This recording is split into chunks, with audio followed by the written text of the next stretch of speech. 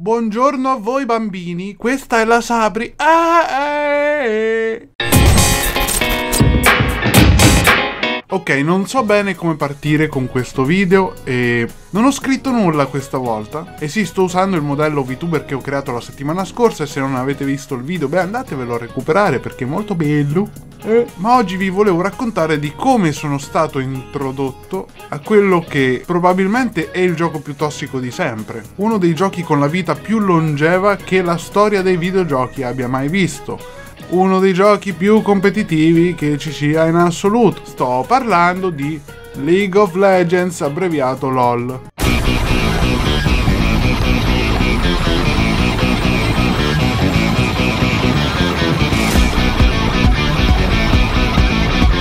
Non so se avete mai visto o sentito parlare di questo gioco, almeno credo che se navigate un po' di YouTube avrete visto almeno la pubblicità e le varie pubblicità di League of Legends che ha spammato l'anno scorso o due anni fa anche insieme a Scottex.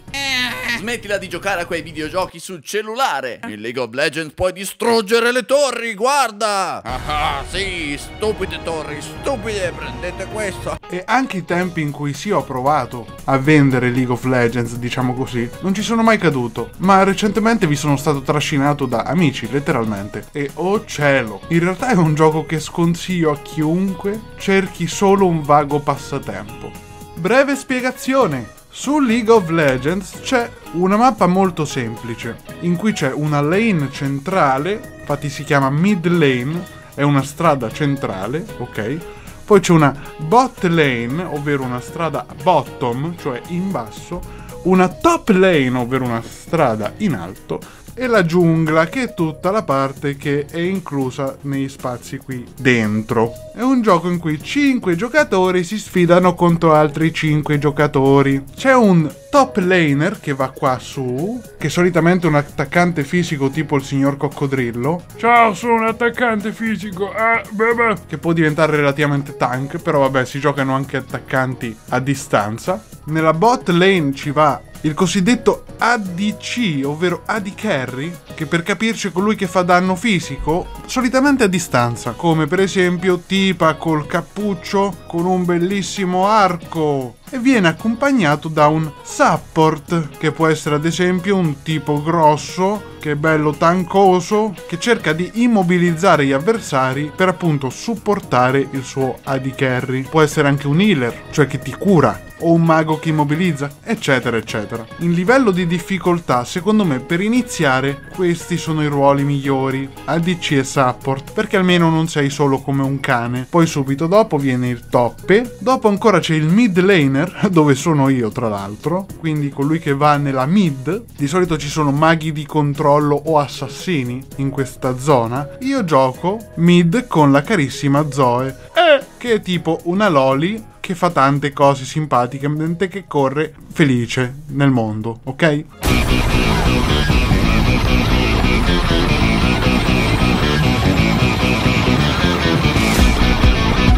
Quindi questo è il ruolo, secondo me, 4 come difficoltà. Direi 1, 2, 3, 4 da non sottovalutare il support perché un bravo support cambia la partita. Guardare Paolo Cannone per riferimenti, streamer di LOL.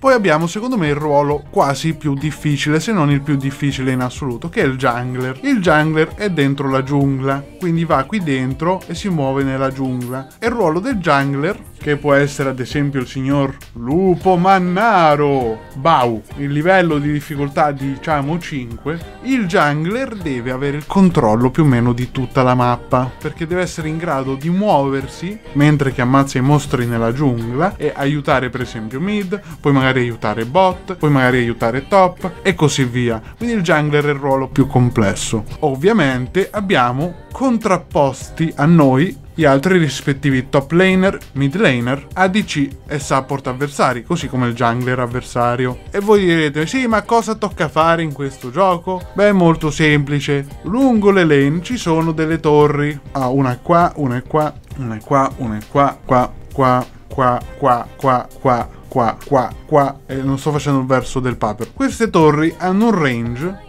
dentro il quale sparano al primo cattivone, tu incluso, e gli fanno un sacco male. Boom! Se tu sei qui, boom, muori. Cioè non è che muori, ti fa molto male, ok? Tu devi trovare un modo per quale colore posso usare, combattendo bla bla bla bla, distruggere queste torri per arrivare fino alla loro base, dove c'è cosa bambini? C'è il cosiddetto Nexus, chiamiamolo N così, protetto a sua volta da due torri. Poi ci sono anche i mini Nexus, vabbè, questo voglio semplificare, ok? Una volta distrutto il Nexus, la partita finisce e l'altra squadra vince, ok? Lo so, sta diventando complicato e lo è molto, io gioco da tre settimane, eh? Nel frattempo che tutta sta roba prende luogo, la cosa più divertente sono gli insulti in chat. A parte scherzi, per questo suggerisco di non iniziarlo da solo League of Legends, ma in compagnia di un amico, in cui vi possono insultare in due. Eeeh! Il problema di League of Legends è che c'è un po' di quello che si può chiamare gatekeeping. Cos'è il gatekeeping, bambini? Cos'è questa parola? Vuol dire che c'è un po' di muro da parte della comunità con tanta esperienza nel gioco eh, rispetto ai novellini. E vi faccio un esempio molto facile. Giulio mi invita a giocare a LOL. Ehi Pau, vieni a giocare a LOL, ba ba ba ba, eh, ci divertiremo. Io dico, Va bene Giulio, ci vengo subito a giocare a LOL. al che lui dice, sì, però devi utilizzare, anzi scusate, Devi utilizzare questi campioni perché sono molto facili da usare e così impari il gioco. e io ho detto, Ma questi campioni fanno un po' cacare esteticamente, non mi piacciono. A me piace questa bambina qua con i capelli così che corre in giro molto felice. sto parlando di Zoe. Da lì ho notato un leggermente atteggiamento diverso da parte di Giulio, che gioca già da anni a LOL, del tipo Come crede questo di poter iniziare a sto gioco con questa che è così difficile da usare e che è proprio tanto difficoltosa da usare e beh beh beh Lo so che voi sembra strano, ma questa è una forma di gatekeeping. Bisogna pur sempre ricordarsi che questo è un gioco e che i giochi sono fatti per divertirsi, giusto? E zio Peu si diverte molto con Zoe. Whee! Un altro esempio di gatekeeping è dato proprio dalla tossicità del gioco. Per tossicità intendo dire che beh, se la tua lane va male, quindi diciamo che sei morto un po' di volte, no? Questo sono io morto. Bleh. Perché qui magari davanti a me mi sono trovato un Cristo di furri molto potente con le bocce. Sì, perché ci sono un sacco di bocce in questo gioco, ok? E anche tante code ci sono in questo gioco. Quindi diciamo che sono stato ammazzato diverse volte. Nella chat cosa accadrà secondo voi? Franco scriverà Yo, mid fucking sucks, bro. Bro. E io dirò Sorry, bro. E Franco risponderà Tua madre è una troia. E fa ancora più ridere quando incontri i tuoi mitici compaesani che ti diranno, diciamo che è sempre Franco, Ita, e tu, nel pieno della tua ingenuità, sì, amico mio, italiano, qui, cuoricino. E Franco risponderà, porco di... Perché LOL è un gioco bello. Nonostante tutto, a parte la tanta feccia che c'è là in giro, perché ne è tanta, ma proprio tanta, ed è sicuramente maggiore di, ma c'è anche tanta brava gente che magari ti dà anche qualche suggerimento e c'hanno la coda da scimmia. Così, perché mi, mi piace. E c'hanno le ali da vampiro, perché sì, perché no. Ed ecco i suggerimenti da parte di un novellino sul come imparare LOL. E eh, sicuramente avere amici come Giulio è molto utile perché lui avendo più esperienza sicuramente ti suggerisce cose utili, no? Però la cosa che io suggerisco di più da fare è guardare guide e tutorial su YouTube, in particolare su cose importanti nella tua lane, nella tua posizione. Quindi diciamo io guardo tutorial della mid lane su come comportarmi in base al comportamento degli altri, in particolare del mio jungler, tutorial su Zoe su come utilizzare bene e sfruttare al meglio il champion che ho scelto e in realtà ne sto imparando anche altri, ma per ora va bene. E guardo anche parecchie eh, live o video in generale su altre lane. Questo perché? Perché così so come pensano le altre lane in relazione a te e alla tua posizione e a cosa si aspettano da parte tua in base a determinate situazioni. Se siete dei mid laner ho trovato molto utile Packing Wolf che fa anche le live su Twitch in quanto utilizza molto Zoe e ti dà anche un'idea di come comportarsi contro determinati campioni. Un altro con cui mi sono trovato molto bene si chiama Coach Curtis e addirittura questo uomo lavora con presentazioni PDF per farti capire meglio i concetti base o fondamentali.